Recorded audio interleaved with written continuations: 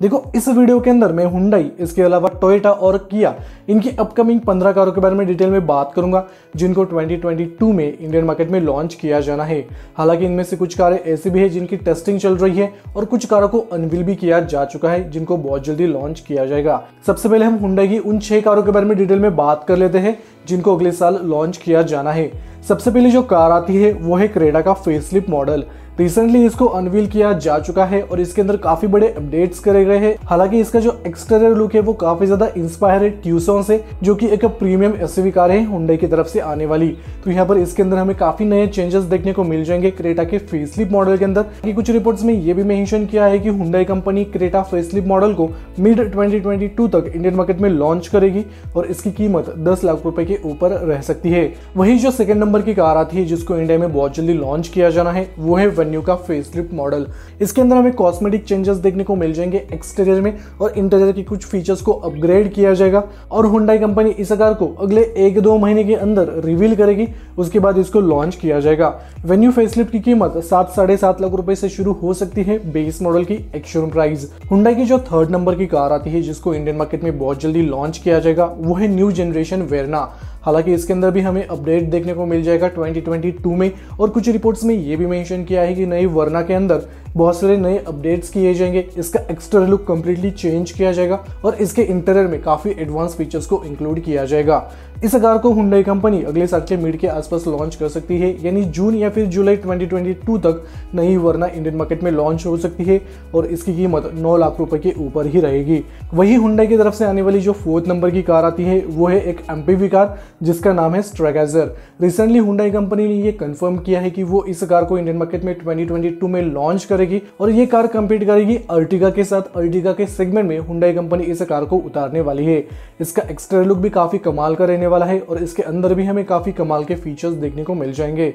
Hyundai company इस car को अगले एक दो महीने के अंदर रिवील करेगी।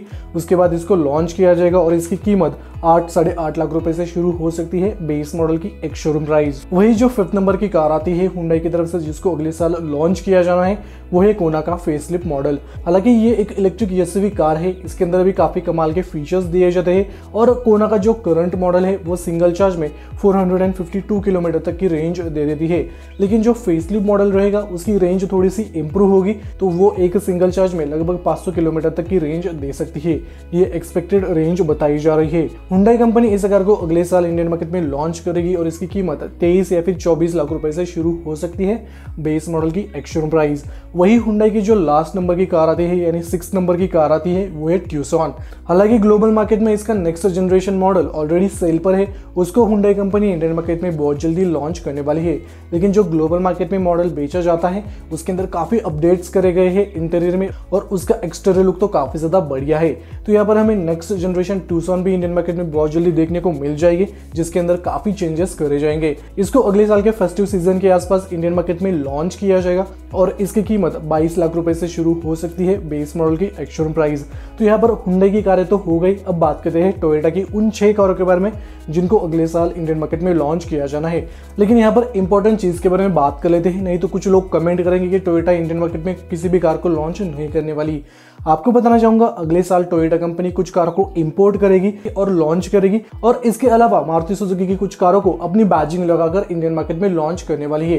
तो यहाँ पर कुछ कारों को इंपोर्ट किया जाएगा और कुछ कारों को रिबाइज वर्जन के तौर पर इंडियन मार्केट में लॉन्च किया जाएगा। टोयोटा की तरफ़ से जो सबसे पहली कार आती है, जिसको बहुत बार स्पाइड किया जा चुका है, वो है रेव फोर इसका इंतज़ार लोग बेसब्री से कर रहे हैं। इस कार को ग्लोबल मार्केट में बहुत ज़्यादा पसंद किया जाता है, क्योंकि इसका जो एक्सटीरियर लुक है, काफ़ी ज़्यादा कमाल का है और इसके अंदर काफ़ी बढ़िया फीचर्स ऑफ़र करे जाते हैं इंटीरियर में, इसका इंजन काफ़ी ज़्यादा पावरफुल है। इसको भी इंडियन मार्केट में अगले एक दो महीने के अंदर रिवील किया जाएगा।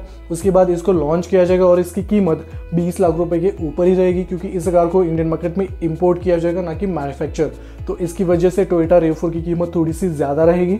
वही टोयोटा की तरफ़ से जो सेकेंड नंबर की कार आती है, वो है हाईलक्स रिसेंटली टोयोटा कंपनी ने ये कंफर्म किया है कि वो इंडियन मार्केट में हाईलक्स को लॉन्च करने वाली है, लेकिन ये एक पिकअप ट्रक होने वाली है।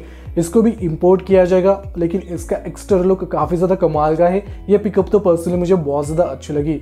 इसको 2022 के मिड के आसपास इंडियन मार्केट में लॉन्च किया जाएगा, और इसकी कीमत 25 या फिर 30 लाख रुपए के ऊपर ही रहेगी। टोयोटा की तरफ़ से जो थर्ड नंबर की कार आती है इसको बहुत जल्दी इंडिया में लॉन्च किया जाएगा, वो है बेल्टा हालाँकि ये रिबैच वर्जन रहने वाला है मारुति सुजुकी सियाज का। इसको बहुत बार स्पाइड किया जा चुका है टेस्टिंग के दौरान और इसको इंडियन मार्केट में सिर्फ़ लोगो चेंज कर कर लॉन्च किया जाएगा। यानी इसके अंदर हमें कोई भी चेंजेस देखने को नहीं मिलेंगे एक्सटीरियर में भी और इंटीरियर में भी। इसका इंजन एक्सटीरियर लुक और इंटीरियर फीचर्स सेम रहेंगे as compare to Maruti Suzuki की सियाज सिर्फ़ लोगो चेंज होगा और टोयोटा कंपनी इसको इंडियन मार्केट में लॉन्च करेगी और ये रिबैज वर्जन रहने वाला है। इसकी कीमत नौ साढ़े नौ लाख रुपए से शुरू हो सकती है बेस मॉडल की एक्शोरूम प्राइस वही टोयोटा की तरफ़ से आने वाली जो फोर्थ नंबर की कार है, वो है रूमियन रिसेंटली इसको साउथ अफ्रीका में अनवील किया जा चुका है। इसके अंदर भी हमें कोई भी चेंजेस देखने को नहीं मिलेंगे। इंटीरियर में और एक्सटीरियर में सिर्फ़ लोगो चेंज होगा रूमियन के अंदर और ये अर्टिगा का रिबैज वर्जन रहने वाला है। इसको भी अगले साल के मिड के आसपास इंडियन मार्केट में लॉन्च किया जाएगा और इसकी कीमत आठ, साढ़े आठ लाख रुपए से शुरू हो सकती है बेस मॉडल की एक्शोरूम प्राइस वही जो फिफ्थ नंबर और सिक्स नंबर की कारें आती है, जो की टोयटा कंपनी अगले साल इंडियन मार्केट में लॉन्च करेगी, जिनको अभी तक अपडेट नहीं मिला है, वो है अर्बन क्रूजर इसके अलावा ग्लैंजा हालाँकि अर्बन क्रूजर एक सब फोर मीटर सेगमेंट वाली कॉम्पैक्ट एसयूवी कार है, जो कि ब्रेजा का रिबैज वर्जन है। इसके अलावा ग्लेंजा एक प्रीमियम हैचबैक कार है, जो कि बलेनो का रिबैज वर्जन है। इनके अंदर भी हमें अपडेट्स देखने को मिल जाएँगे 2022 में। तो यहाँ पर इन छह कारों को टोयोटा कंपनी अगले साल इंडियन मार्केट में लॉन्च करेगी। हालाँकि टोयोटा कंपनी ने यह खुद कंफर्म किया है कि वो इंडियन मार्केट में मैन्युफैक्चरिंग नहीं करेगी। इनमें से कुछ कारों को इम्पोर्ट किया जाएगा और कुछ कारें रिबैज वर्जन रहने वाली है। वही जो लास्ट कार कंपनी आती है, वो है किया 2022 में किया अपनी कुछ कारों को इंडियन मार्केट में लॉन्च करेगी, जिनमें से पहली कार रहेगी किया की करेंट जो कि सिक्स सीटर और सेवन सीटर एमपीवी कार होने वाली है। रिसेंटली किया कंपनी ने इसको अनवील किया था। इसके ऊपर ऑलरेडी मैंने वीडियो बनाए हैं और कंपेरिजन वीडियोस भी बनाए हैं, वो आप ज़रूर देख सकते हैं।